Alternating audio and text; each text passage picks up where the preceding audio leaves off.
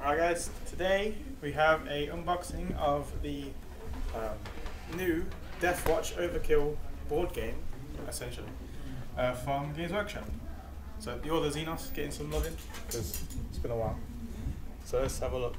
Obviously, you got a cool young Cassius before he becomes old man Cassius.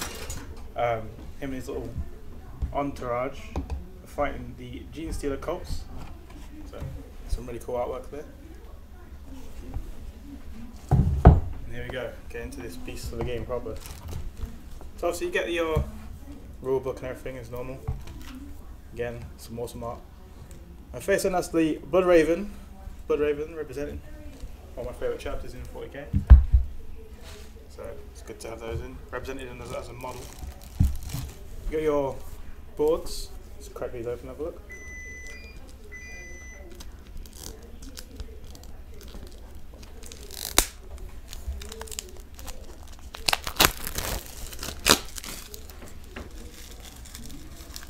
So they seem very reminiscent of Space Hulk. That sort of feel, that sort of look. So they seem like one big piece rather than splitting into multiple little pieces. And very much double sided. I'm guessing that's like a bridge or something? Or meant to be like a chasm? That's an interesting one. Huh. Uh, yeah, it pretty much repeats itself essentially. Going down all the different tiles. That's cool, like teleport style area. So, for those of you that may not know about the Death Watch, or may have only just heard of them, Death Watch are the chamber militant of the Ordo Xenos. So, what that means is the Ordo Xenos is the, the alien hunters, uh, very much like you have the demon hunters and the, the witch hunters. Uh, and what they do, they are a Space Marine chapter which is made up of uh, people uh, seconded from other Space Marine chapters. So like, as you as you know in the game, like you have like a Space Wolf, a Dark Angel, Blood Angel, all those sort of stereotypical ones as well. Uh, but what it is is these Marines come together, and they're generally chosen from the chapter for being um, very good at their job. You know I mean. Being like the Space Marines are very good at killing the Xenos and their job is purely to deal with uh, the Xenos threats. Um, and to, to be basically the uh, Inquis- Inquisition's chapter, essentially. Um, you also have, which is kind of cool, which uh, may lead into expansions or something, we're never quite sure, uh, the Black Shields, which are Marines from um, anywhere. They could be traitors that have turned loyalists, they could be uh, just Marines that have their chapters turned traitor but they've remained loyal, or um, Marines that no longer agree with their chapter's ethics and they've joined the Death Watch. So it's kind of cool. So you can, you know, if you fancy uh, not playing Ultramarines as Ultramarines, you could do something like that. Quite cool. Or, you know, Blade Angels. So, before I continue rambling on, let's go through some of the other bits. So you got your cards. I think it splits into two decks.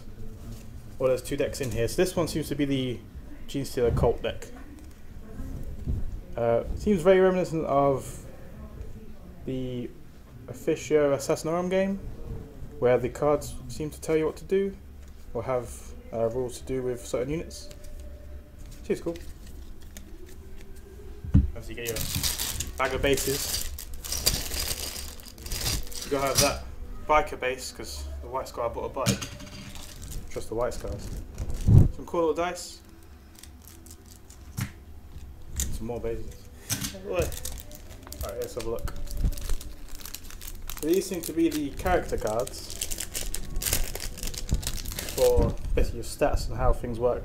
So you've got Jetek Suberei of the White Scars, you know, Salamander, I'm not going to try and butcher his name, Cassius, before he gets his uh, new metal face, uh, Bale, a Space Wolf, a Dark Angel, Raven Guard, Blood Angel, uh, Iron Hand, an Imperial Fist, the the best legion.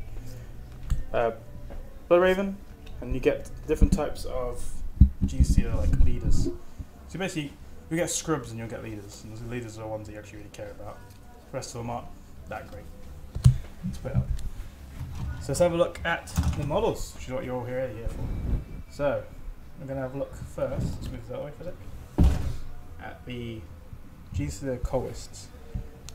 So, you get a mix of different stages of Gene Stealer cult um, members, different hybrids. Uh, I think it's stage one through four, and you get a Magos, a Primus, and then the Patriarch Gene Stealer, and you get two uh, pure strain Gene Stealers, which are basically just Gene Stealers. So you can see here, like there's a, there's a standard Gene Stealer.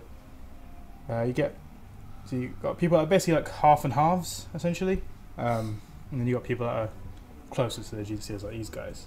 They've got multiple arms and GCS star heads and not very nice people. Let's put it that way.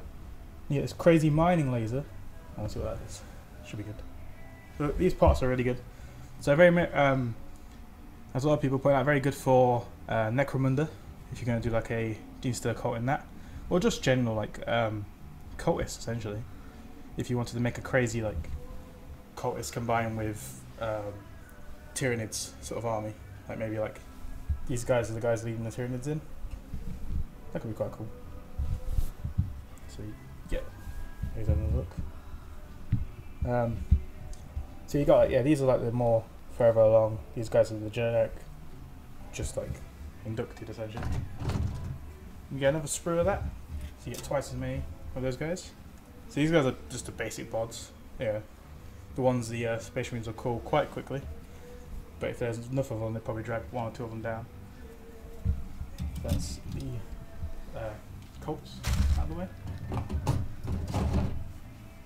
So we have the uh, Patriarch, which is a really crazy cool looking model. It's got all the spines in the world.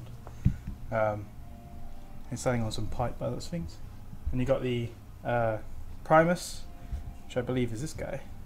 Uh, a bit like a warrior guy by the looks of things. Commands the minions around, gets them to do his job. You know, looks after the uh, the Stealers, and this guy, the Magos, who's a bit like a priest essentially, from what I can tell. That like um, gets the Gene Stealer cult going, makes sure it remains cohesive, and makes sure it praises the hive mind essentially. So yeah, I got all this Xenos filth, so you can send someone to purge it. So you send the Death Watch. So here we go. It's Death Watch Marines. So you got a cool biker, the White Scar. Don't know why he brought a bike to what looks like the middle of a ship or some underground like hive. It's beyond me. Uh, you got your Raven Guard and your Space Wolf here. So each of them have the Death Watch shoulder pad, which you know makes sense. Because even when they return to the chapters, they still have the Death Watch shoulder pad and the Death Watch colours uh, to represent the fact that they were in the Death Watch. Uh, you also have Ultramarine down here. Um, you have the Blood Angel. You have the Imperial Fist and his crazy uh, like bolt gun cannon weapon, which looks rid- ridiculously cool.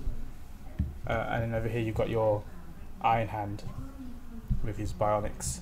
Uh, so these would make really good uh, character models in the armies or just a unit by themselves. Uh, there are rules in Next White Dwarf for the Deathwatch Marines themselves and for the GC they in 40k. Uh, so this could be quite cool as maybe just a little army in itself, like play a fire and job point game, bring out the Death Watch. You know, like you mix it against other armies like Eldar or Tau, see how the Death Watch can do as a kill team against them. So that's these guys. These guys are your generic sort of uh, squad together. So these guys basically form the base of the squad, um, with your outriding guys essentially being your biker and your two salt marines. And then on this sprue, we have the like character guys essentially. We've got Cassius, who, if you uh, know the Space Marines already, is a um, half bionic tyrannic war veteran in uh, normal 40k. But in this one, this is before then. So this is when he's young Cassius. or at least not old Cassius. So he might still be like a couple hundred ideas old at this point. Um, and he's not got the Bionics yet, and he's not fought the Tyranids in the Tyrannic War, vet, in Tyrannic War yet. Uh, you also have the uh, Salamander Terminator. He's put his flamer because he's a salamander. He also seems to have a melter gun on his fist, so he's, he's definitely come packing. He's come to do his job. Uh, you have the uh, Dark Angel um, with his robes, his plasma pistol because Dark Angels, and then you have the Blood Raven. I think this is the first time they've ever produced a Blood Raven model that is specifically a Blood Raven. Um, there's ones that have been very similar but haven't ever been mentioned as actual Blood Ravens. Uh, so it's nice to see them represented. And then, last but not least, you get very reminiscent of a certain um, miniatures football game. Uh, you get a rangefinder specific to the game. So you have, I'm assuming like, oh, so assault combat would be short range fire, and then maximum would probably be like your long range fire. There'd be reductions and the usual uh, game mechanics you come to expect. But that is the Death Watch. So, seems a very interesting game.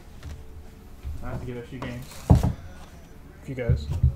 But yeah, awesome miniatures, awesome concept again. Death Watch is amazing. It's one like one of the most amazing bits of 40k lore for a long time. Uh, if you if you get a chance, even if you're not into RPGs, if you read the RPG books produced by Fantasy Flight Games on Death Watch, they're very good for background, and they're also um, these models will make amazing models to use in those campaigns. So that is the Death Watch Overkill uh, unboxing.